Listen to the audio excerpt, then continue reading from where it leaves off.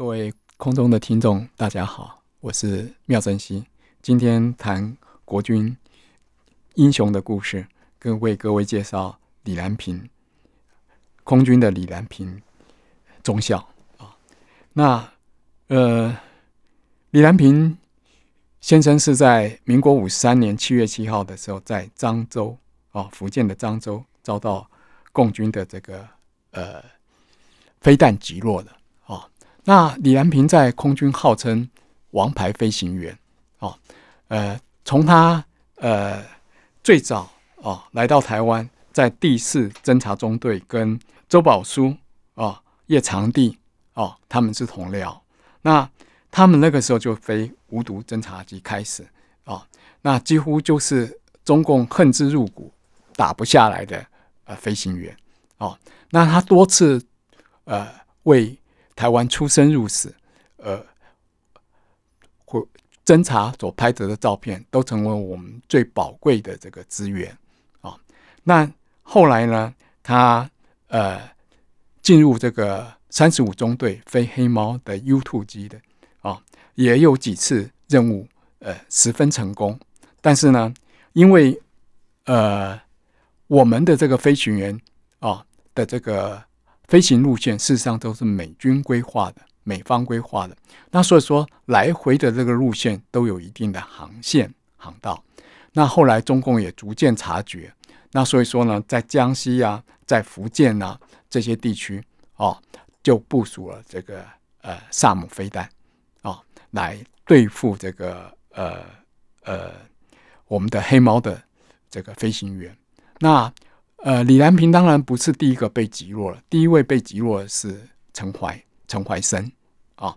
那嗯，李兰平的损失，呃，对，嗯，我们的空军来讲，之所以呃是一个非常呃悲伤的事情，是因为他号称王牌飞行员哦。那李兰平的这个呃击落，当然也造成了这个空军士气。有一定程度的影响啊。那在呃陈怀过世之后啊，跟李兰平过世之后，事实上金国先生都为他们写过专文。那这个李兰平，呃，金国先生正是为他写了一本小小的书，叫做《在平时中求进步：纪念空军中校李兰平》。哦，那这本书在。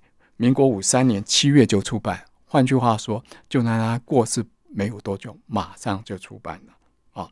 那在这里面呢，呃，他也提到哦，呃，李寒平的最后一封家书里面提到，跟他的妻子提到，呃，他的妻妻子就是叶秋衣女士啊，就是说，如果有人问起我在哪里，就说不知道啊，因为嗯，这里面是机密。那当然呢，金国先生就提到说，呃，他最后一封家书还在为他的任务保密啊。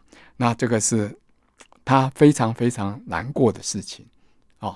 那李安平呃住在这个呃建国二村啊，他住过这个黑猫眷村。那但他过世以后，嗯，没有多久，他的妻子。就带着孩子搬出这个眷村了。那这个这个资料是从后来周宝书将军的回忆里面啊，呃找到的啊。那后来这个叶秋雨女士改嫁哦，那嗯，真正的脱离这跟空军的这个些呃同僚啊、伴属的这个联络，那嗯。台湾有一位专门追黑猫跟黑蝙蝠的这个高新华老师，他是台中一中退休的老师。他后来找到了李兰平的在大陆呃最有可能的这个下葬地点。那后来跟这个呃李兰平的公子联络上了，但是呃后来李兰平的公子也写了一封信。哦，回给这个高新华老师，那那封信有登在高新华老师的这个呃 FB 上面。那看到这封信，确实是令人非常非常难过。